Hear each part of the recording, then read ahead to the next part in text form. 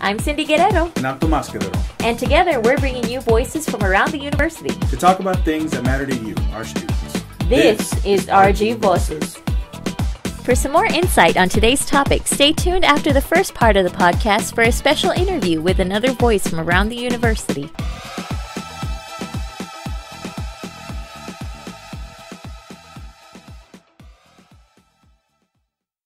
All right, hey guys. Today we are going to talk about uh, feedback and why it's important. dun, I know, dun. right? People tend to hate it, but it's okay. We promise. Um, so we're going to talk about why it's important and how to give and receive effective feedback. Um, so first, I want to kind of go into this concept that's introduced in an article by Straub. The title escapes me, but I believe it's in the book. uh, we're super prepared. Uh, so there is this um, this concept that uh, Straub introduces in one of his articles in the book, and it's called uh, directive versus facilitative feedback. And I like to emphasize that to my students uh, because when we talk about directive feedback, we talk about telling somebody what to do. Um, change this, write this instead. I don't get this, write about this instead. Things like that. So it's like it's the key word in that is direct. You direct somebody. Um, facilitative, and on the flip side of that, tends to look like suggestions for feedback. You're asking the author questions. This is interesting, but have you considered writing about this? Um, what do you mean when you talk about this? Can you give more detail? Um, I like this. Have you considered this angle to this issue, or whatever it may be? Um, so it's hard to say which kind of feedback you're going to be asked to give because, again, depends on your professor. And it's hard to say that one is always better than the other.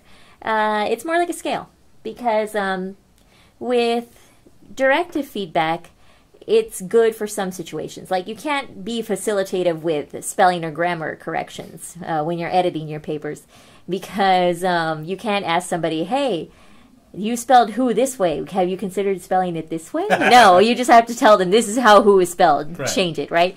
But on the flip side, facilitative feedback um, can't or should be in lieu of directive feedback when you're starting out in the process. If you very early on in the writing process tell somebody on their draft to change an idea and not give them a suggestion, like you're being directive instead of facilitative, it might be a bit discouraging for them. Mm-hmm. And you might accidentally change their ideas to the point where it's not really their ideas in their paper anymore. It's it's your paper, it's your voice rather than their in rather than their voice. And we want our own voices to shine in our work because we are basically the dictators of our work. We are we The are in charge. We are the author. Yes, The authority. the authority. See, Ah, it all ties in. Yeah. Um, so I guess it depends on the time and place, what kind of feedback you Right. can give or you should give. Right. So one of the one of the things we should make mention is there is a difference, and I want everybody to pay attention. Oh yes, between editing and revising. Very early on in the feedback process, we are focusing on revising. revising doesn't mean your grammar or spelling. or spelling. Revising focuses on ideas. Right. What is this thing about? Right. So if you're reading your peer's essay and you you find yourself going, "Oh my god, this is really good." Mention that and tell them, "Here's why it affected me." Don't just say it was good because that's just as bad as, you know, getting your paper back and somebody just crossed out a word and then put a question mark. What does that mean? Right?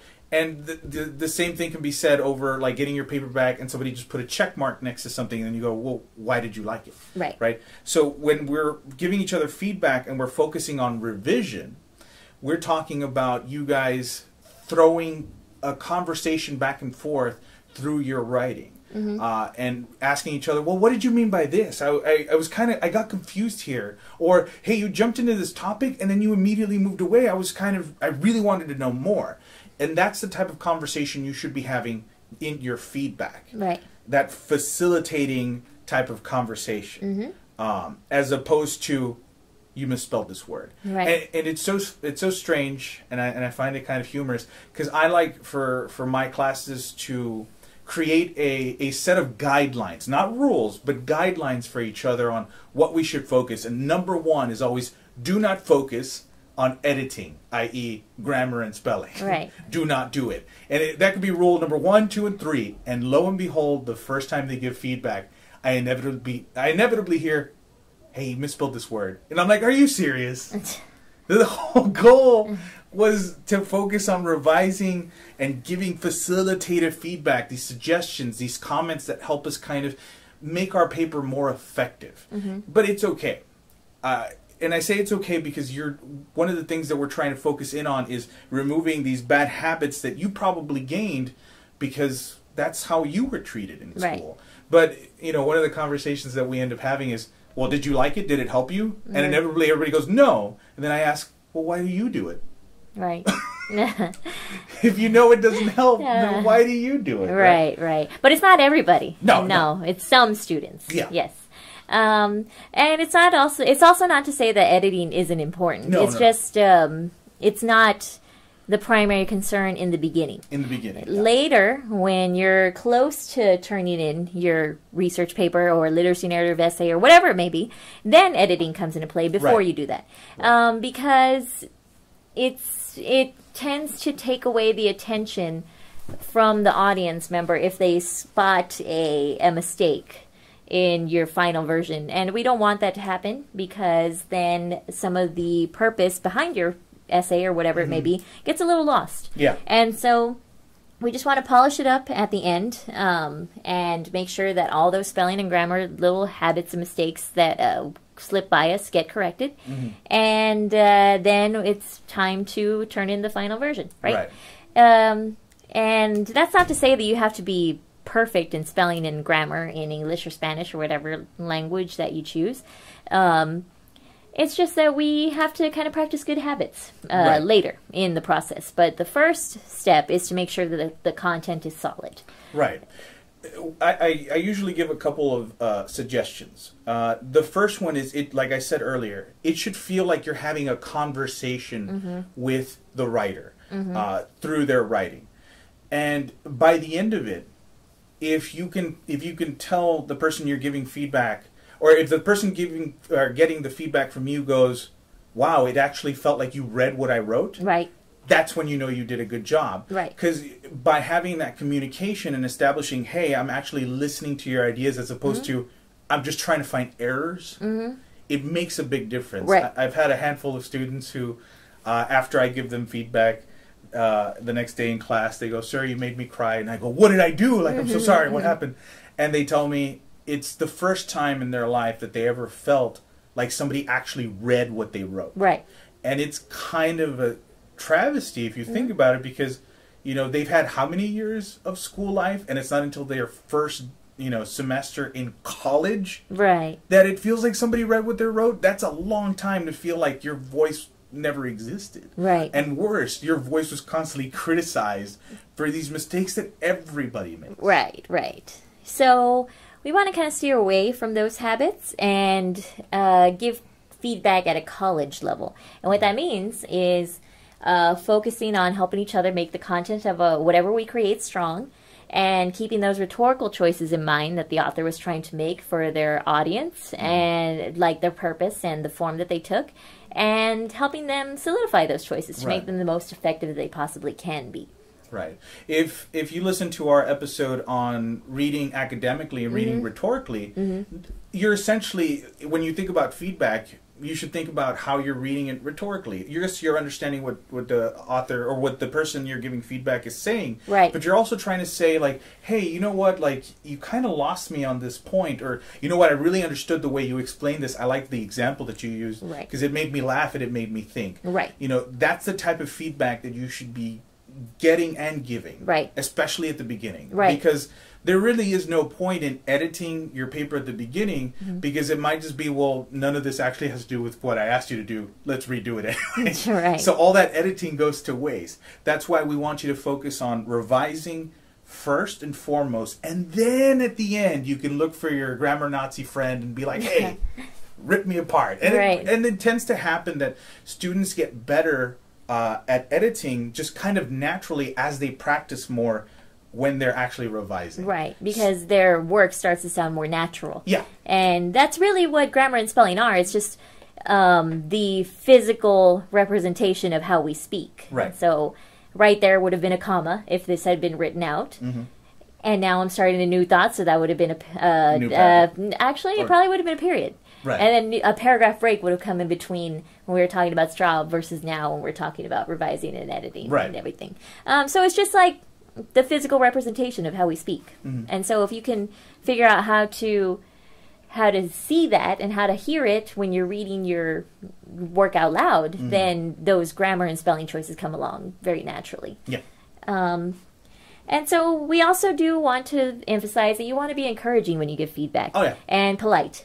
Uh, it's all it's it's constructive, and uh, we want to make sure that we are never discouraging to anybody because then you just basically silence your their voice by Mm-hmm. Right. telling them things in a mean way. Right. So maybe start with some compliments. I liked this. This is really strong. It was really interesting. Mm-hmm. And then have you considered this? Posing your feedback like a Right. question. Right. Because if we pose it like a question, then it sounds more like a suggestion rather than a do this, a sort of command.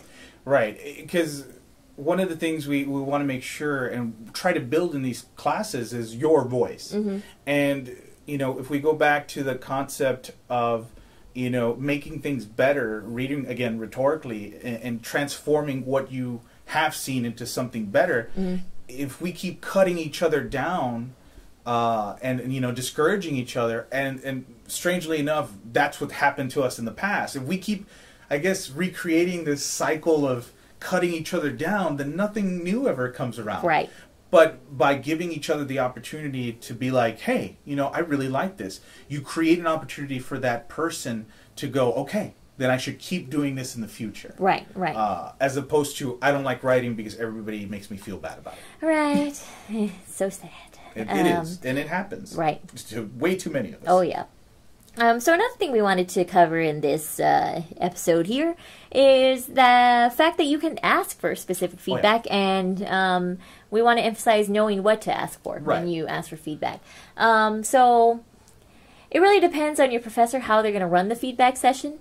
But usually, what I like to do when I meet with my students one on one for their feedback uh, from me, I ask them first, okay, what is it that you want to help with from me? Right. Uh, because if I just dive into telling them what I think about their paper and what they should change, Mm-hmm. then I'm kind of I'm kind of being too directive a little bit. I'm not letting them speak up and ask for the specific help they need, and so maybe I won't hit upon the help they need. Right. And so I'm not being very helpful at all. Um, So don't be afraid to ask for specific feedback either from your professor or from your classmates if you do feedback sessions like that. Right. Um, tell them, hey, I am stuck on this one idea. Can you help me? I don't know where to go from here. How do I transition to my next thought? I don't have a next thought. Can you help me?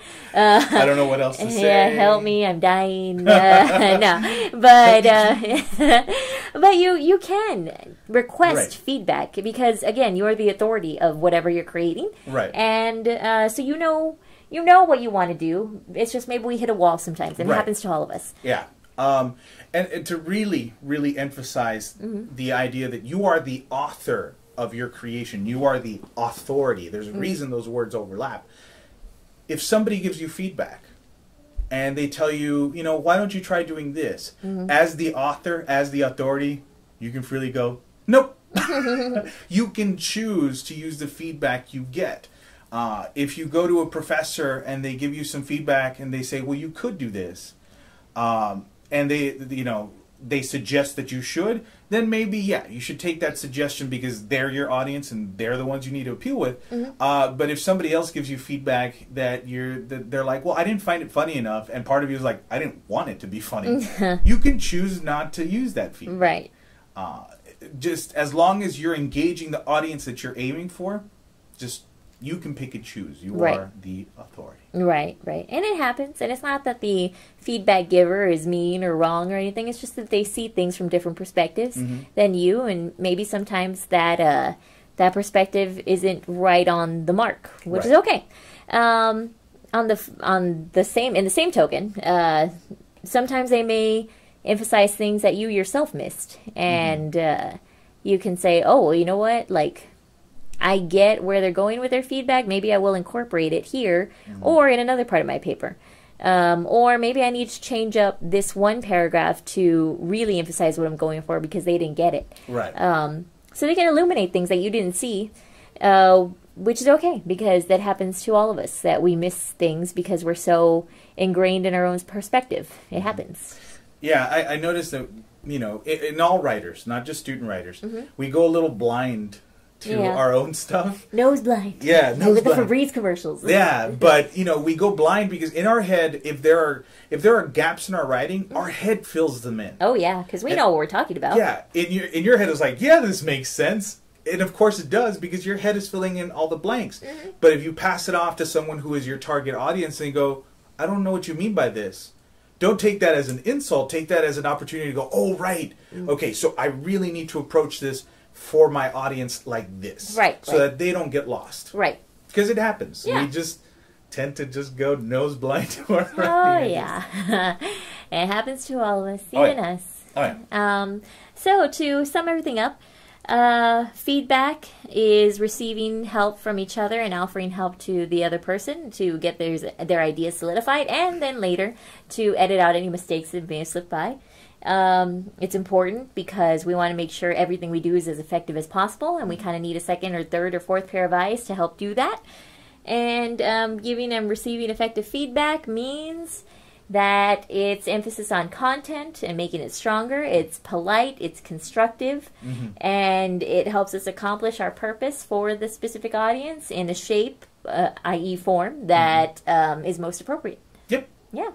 So that is it for us for today, right? Yeah, Yeah. Uh, that- I- yeah. It's it's it's kind of it's this is such a simple concept, but it's also very important to emphasize those things uh, Right. over and over and over. So Right. if we get a little repetitive, it's because we might say it once, twice, a million times. Do not focus on grammar. Do not focus on spelling, and inevitably somebody will go, "But can I just fix this one word, is this one phrase?" And Mm-hmm. it's it's this ingrained thing, this threshold we need to break through. Right, right. Uh, or so- redo, not Yes. so much like get rid of completely. Right? No, of course. Um, and it, yeah. Yeah, and uh, of course, your feedback sessions and the way you run feedback, the way you give feedback, the way you receive feedback is going to look different in every class for every professor. But uh, we hope some of these general tips are still helpful. Oh yeah. Yeah. And as always, if you have any questions, feel free to contact us uh, or ask your professor. Oh, yeah. Bye, guys. Bye. All right, uh, this is Tomas. I'm here with Cyndy, and we're here with our very special guest, uh, Miss Marianne Escamilla. Uh, we're here today to talk to you about service learning and service learning assessment, correct? Feedback. Feedback. Feedback. I don't. Feedback Yeah, assessment. I think it it, I think it Yeah. kind of works together. Yeah. So, Marianne, do you want to tell us what service learning is first before? Uh, usually, service learning um, is a combination of uh, of serving the community. Uh, well, it, it's it's a combination of what internship is and volunteer work and a community service, and that's usually uh, students usually have an idea as to what community service is. It's what they do when they go collect. You know, junk on the beach, which is a great thing to do. And I'm not going sure. to flub it. Uh, and it's also like if you've ever had too many parking tickets, they go off and do that and stuff like that. That's I learned that from students, by the way. I had no idea, which I did know, but I didn't. But uh, so that that's that. Um, and then of course internship is uh, when somebody goes off and they work, and and both of those you have one person being uh, more of a benefit, ha- have more of a benefit than the other. In community service, it would be the agency, you know, the beach people would have Right. the most, and the people would just go in and do it for four hours and leave. Ah. Uh, in internship, you have the intern learning everything, and sure, the organization gets something out of the intern, but the intern gets, you know, basically they're a sponge. right. Yeah. Uh, community uh, service learning is uh, tries to be an equal medium of the two, where Ah. you have the student learn something, and um, the community also benefit Benefit. equally. Right. And with that, there's a trick that you have to be. Um very close to the community members. Right. You have to have uh, developed a relationship. Uh, the two organizations that I am now most familiar with is the College of uh, College Assistance Migrant Program, the mm-hmm. CAMP program. I've been working with them for the past five years, and uh, the food pantry mm-hmm. ah. of the UTRGV. Again, I've had I've been with them for five years, mm-hmm. and they know my style, and I know what it is they're interested in.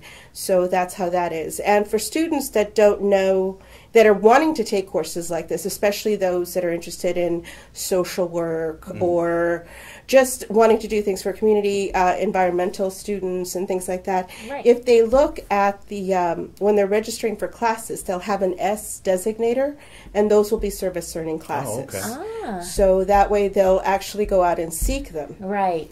and th- there won't be a surprise at the end either. So Right. if there's Right. an S, yeah. So if there's an S, They can expect. They can those things. expect service. Right, right. Yeah. Um, do you want to tell us a little bit about like a specific example of what you do for service lane? I know uh, the zombie walk is one of your big things. we right? do do the zombie walk. That's every uh, fall, Mm-hmm.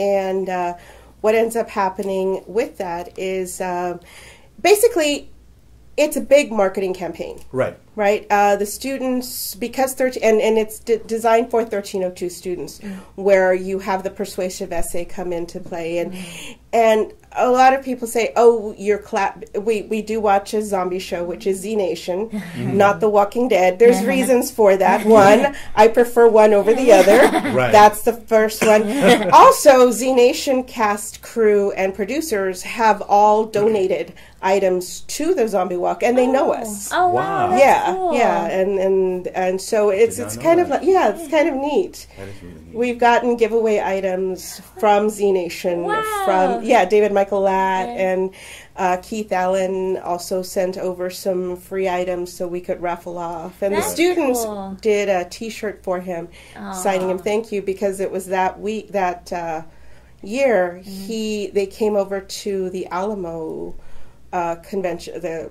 Alamo Comic Con in Oh. San Antonio, and he gave me his free tickets. Oh, wow. Bec- uh, yeah, and it was really neat. So the students all sent a T-shirt thanking him for his contributions and Z Nation's contributions. That's Right. So I actually have a T-shirt, uh, uh, a picture of Keith Allan, who is the lead actor of Z Nation, Wow. wearing a UTRGV shirt. Yeah, Wow. That's cool. That's really cool. You know, usually when I when I tell students like take take a service learning course, like Yeah. I'm always encouraging Yeah. it because it, it had a big impact on me when I was a Mhm. graduate Yes. student, and that stuck with me. Like it has never, I've never forgotten it. Yeah. Um, and I tell them, you know, the the impact that you have on the community is immense, and the impact it has on you is just as powerful. So to hear that we've actually like Yeah. that our service learning has gotten to that point where Yeah. it's like, yeah, hey, uh, we're on TV. Yeah, they know us. As a matter of fact, uh, unfortunately, the show was canceled. But Mm. I had been offered to, if I wanted to go to where they filmed, that I could be a zombie. I could be, so it was really cool. It was like I said, I've met almost everyone in the cast, and Right. they know what we're about. That's and really They know cool. UTRGV. Yeah.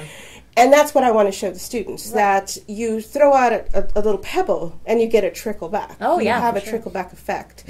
And uh, so, what the marketing campaign is is they learn about Mm-hmm. the Z Nation, but I don't show it as a TV appreciation class or a film appreciation class. What we do is I try to have them look as to why the producers did this, and I Mm-hmm. know enough behind the scenes thing that happened as they were creating the show where I say, okay, well, this in the, in this scene, Keith Allan said this scene a certain way, Right.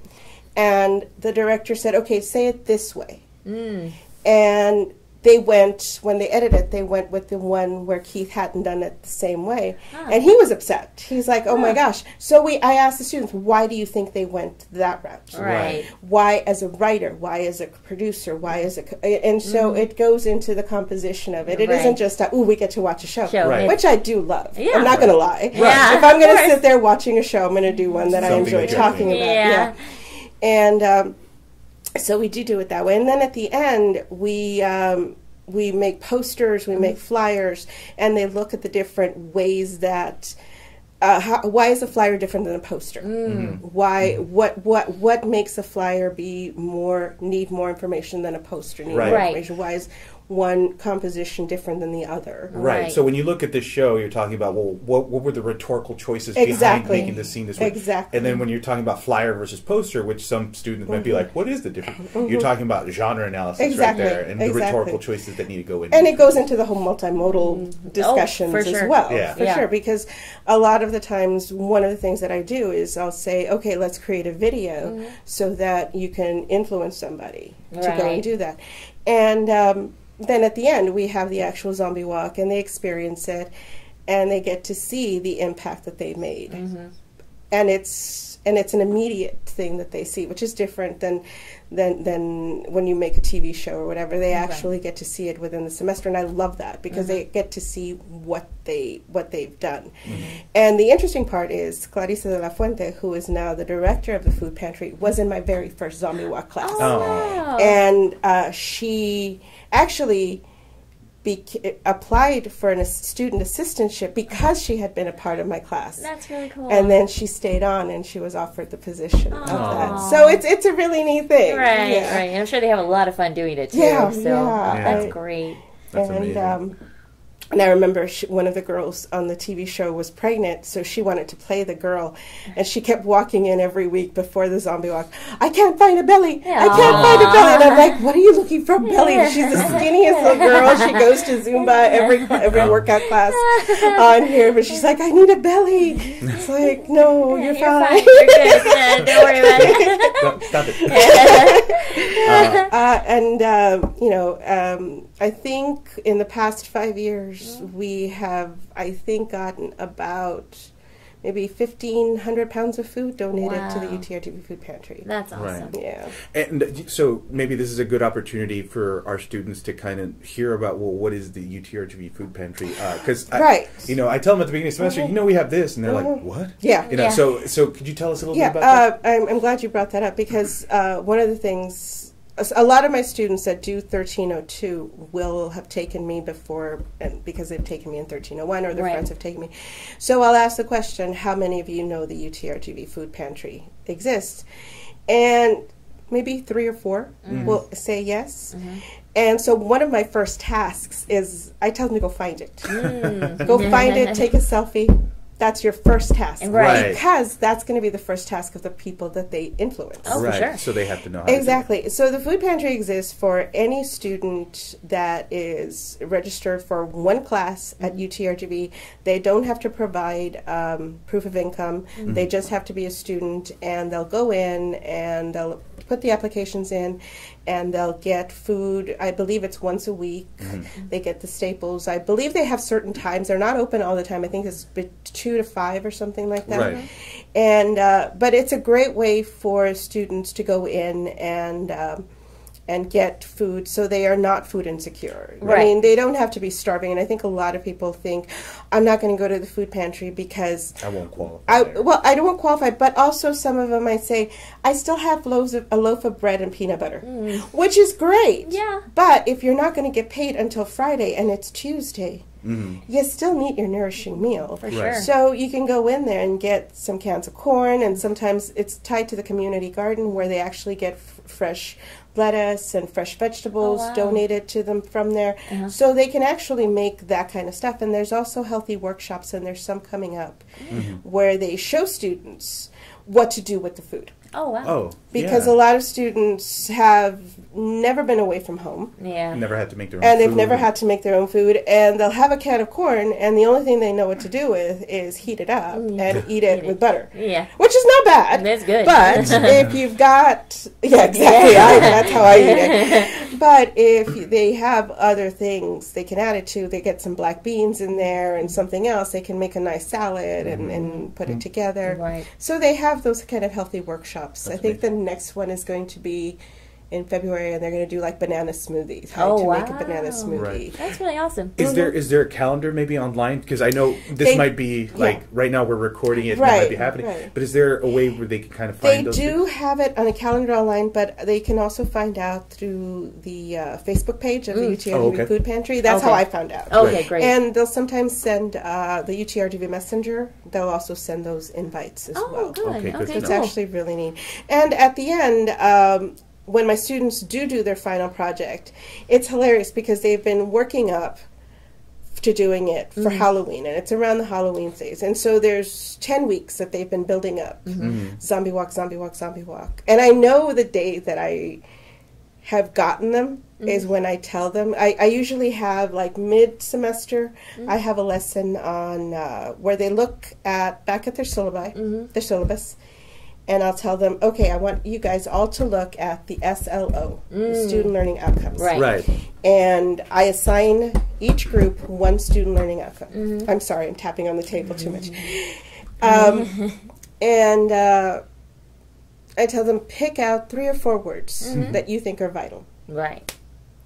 and then think of all the assignments that we've done that connect to that SLO. Mm. and then go ahead and let's write six to seven hundred words as to how it connects back and how this relates to Right. your writing and what have you learned so far. Mm-hmm. Have we done it? Right. And so they end up doing that. But the first question that I ask them all the time is, What's your main goal for this class? Mm. Right. And in my head is to pass it Yeah. or to get an A. right. They're, without fail, they will all say, to have a good zombie walk. And that's when I know they bought it. it's like, yes, I've got them. I'm like, that's amazing. Yeah. Right. Yeah. Uh, but their grade is not tied to the amount of food they bring in. Right. That's Right. one thing that I always have to get out and telling them. It's like it doesn't matter, even if we have three cans of food donated Mm. by somebody that's not associated with the class, I consider it a success Right. Right. Yeah. because that's three cans of food the food pantry didn't have Right. first and foremost. But people will now know about what the food pantry is. As a matter of fact, there's another story that I have about a student who was in my class, who was sitting at the at the student union one time, mm-hmm. and she said that there was this girl that was just looking at her, and she was finishing off some chicken nuggets or something, mm-hmm. whatever, and she left some, and the girl just kept looking, and she sat closer and closer to her, mm. and she finally, my student finally said, "Are you okay?" And the girl's like, "I just haven't eaten." Oh. So it kind of makes you wonder how long this girl hadn't eaten Right. for you to tell a perfect stranger they hadn't eaten. Right. Right. And she said, Is there any way that I can have your leftover nuggets if you're done? And the girl's like, Sure. And, and they started talking. And so what my student did is she took her and walked her over to the food pantry. Oh. And they got her signed up. And she goes, I don't know if she'll go back. Mm-hmm. But she goes, One, I know that I know now where to send people. Mm-hmm. And she goes, And that's something I never knew. Right. And I know she might not go back, but I know for that week she had food. Yeah. Right. And that felt really good. And, and, and you're kind of like giving some sort of empowerment to them and that they're affecting people in the community in ways that they never thought that they could. Right. Yeah. And so this whole, when everybody starts talking about how millennials are, I built my zombie walk on millennials. Right. So nobody can sit there and tell me, oh, millennials are horrible. Yeah. No, they're not. Yeah. you just have to motivate them in a certain way. Right. Right. Right. Which Give- is true for anybody. Exactly. Really. Exactly. Yeah. Exactly. Go Yeah. figure that you give people something to care about. Yeah, and no kidding. About it, right? Oh my gosh. Look that. If only we Oh could my see your God. facial expression right now. How sassy it is. That's what it's a about. uh, so uh, you mentioned that you want to talk about service learning feedback. Feedback. So- Right, Yeah. right. And so at the end, um, we end up uh, doing reflections as to what happened, and that's where I was building to. That they have those ten weeks, and uh, they end up feeling empty when they have when they've done the, the event. So because it's service learning, the, the reflection is tied back into it, and. What I like doing is that's where the feedback comes in, where we mm-hmm. start figuring out, okay, what would we have been able to do better? Right. What did you learn? If you were to do this again, what can we do next time? Right. What do we have to do? So at the end, what they end up doing is, in a way, I've been having them write, okay, they, they have to come up with their own, and which is why I love that you guys started with defined service learning. Mm-hmm. Okay. Because if you look at every service learning paper that's mm-hmm. out there in every journal, mm-hmm. it will start off with the author's definition of service learning. Oh, Because there is not one Right. set definition. Right. Right. And so that's what I always do with the students. They have to come up with their own definition of service learning. Oh, that's good. And then they come up with the rationale as to why we need to do it, which is what, and basically what you guys just did was walking through, without you guys knowing I'm it. gonna get an A. and uh, uh, um, and then the rationale behind it, and the com- and the consequences that happened, and what happened with the event, and then what to learn from it for mm-hmm. next time, but also what impact is it that you are making mm-hmm. in the community, and a lot of times they think they've been having fun, which mm-hmm. they have been, Right. but you can have fun, impact the community, and learn, which is the three pillars of the whole service learning. Right. Absolutely. Community, education, and the student themselves, and that whole translation of the two. And uh, then at the end, that's the paper that they write.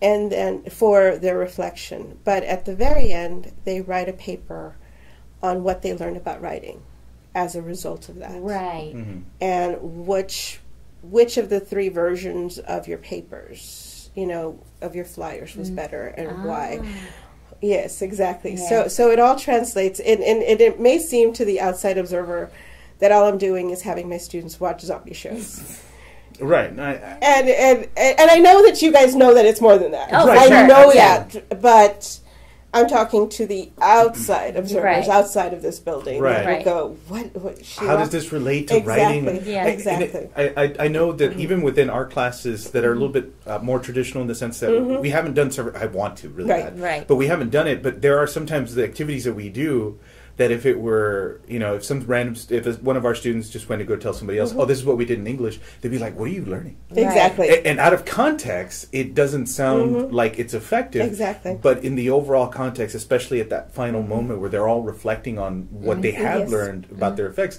that's when it impacts. So there is always that concern of like, well, how does this relate? yeah Uh, and I and I hope that people like instead of just immediately dismissing it, become more curious about Yeah. it Right. and see the impact these students have not only with the community but with themselves Yeah. and their abilities to Exactly. be effective writers. Right. And and that's another reason why I really enjoy utilizing Z Nation mm-hmm. with that because it kind of mirrors what they're going through. Mm-hmm. Mm-hmm.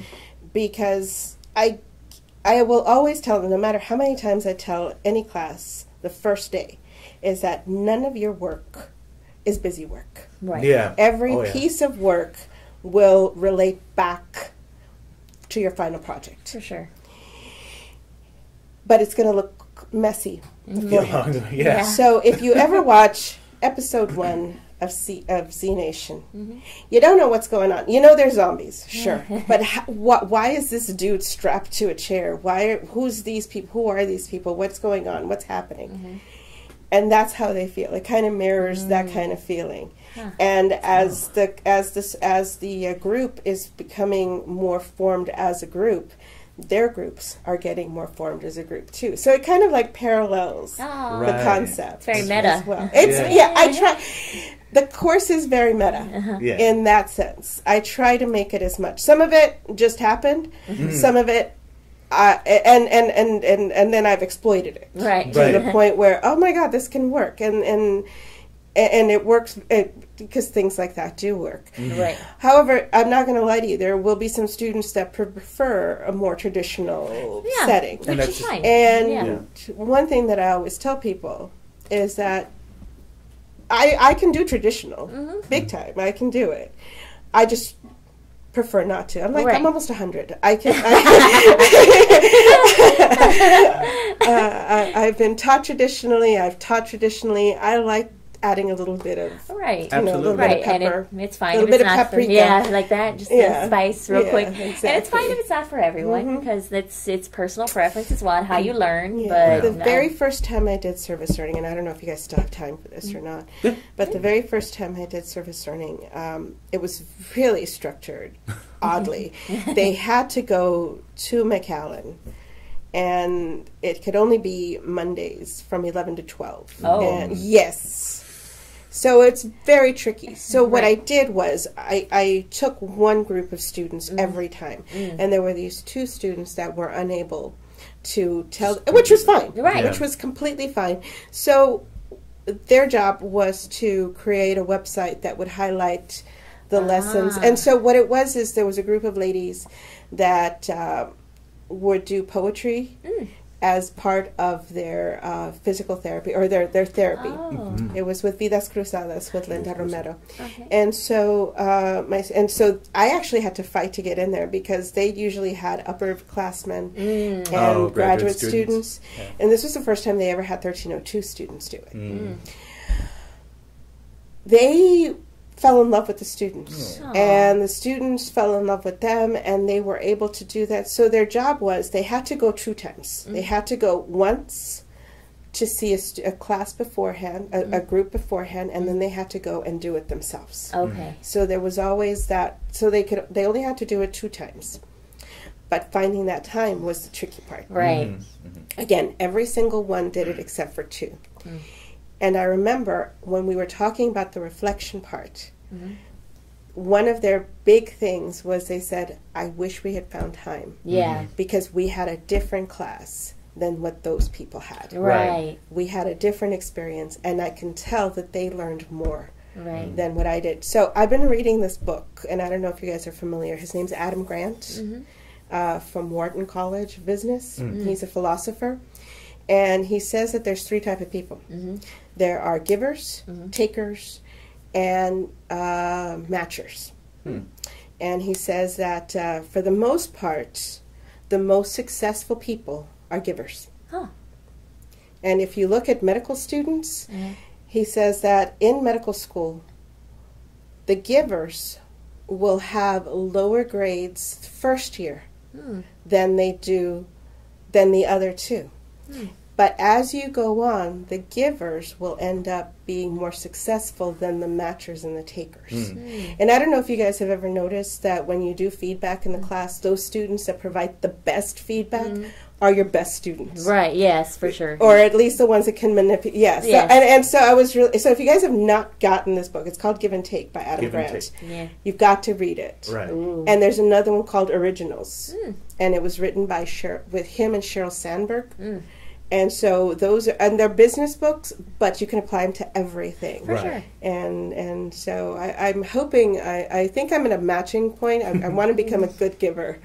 That's, that's my goal. Right. Yeah. Absolutely. As we all should. Yeah. Yeah. Beneficial. and not just because you want to become successful Right. just because i think that you you you you, you can affect more yeah. Right. Just the inherent Mm-hmm. ability to do it and want to do it is is what brings that s- Mm-hmm. Yeah. success with it. Right. Yeah. All right. Is there so uh, we want to end with any final thoughts you want to leave with your students or any potential future students who might be listening to this and going, I kind of I dig Z Nation. I dig. well i don't know if i'm going to find people that dig z nation off the top but i will tell you this um, when students tell me when i say oh you guys probably watch the walking dead a lot of them will go oh no that's my parents Oh. yeah, Oh, no. apparently Ow. i'm like oh okay Everybody get out. Don't talk to me anymore. I need to sit here for a bit. That's sad. Oh. But uh, I didn't hear that one coming either. I was just like, dang. uh, but no, I think that so long as uh, students find something positive and you find something as a s- to do as a service, if it's something that you're passionate about, they'll pick up on your passion. For sure. And even now, I have students, they'll come up to me and say hello to me, and they'll come up to me and say, Oh, do you remember? Uh, oh my God, did you see Z Nation? Aw. Those premieres Aw. on, or something like that. Right. Or, or they'll say, Oh, guess what? I got into this, or what have you. So, yeah. Right. I, I always tell my students, you know, you're in an okay class because if you ever see me say hello to a student, they said hi to me first. You could tell that I'm probably Yeah. okay because they didn't try to shuffle off Exactly. and pretend that they didn't know me. So Exactly. always a good sign. Yeah. Always a good sign. Mm-hmm. All right. Well, Alrighty. thank you so Thank much. you. for your It was That's fun. really awesome. Absolutely. Yay. Thank you.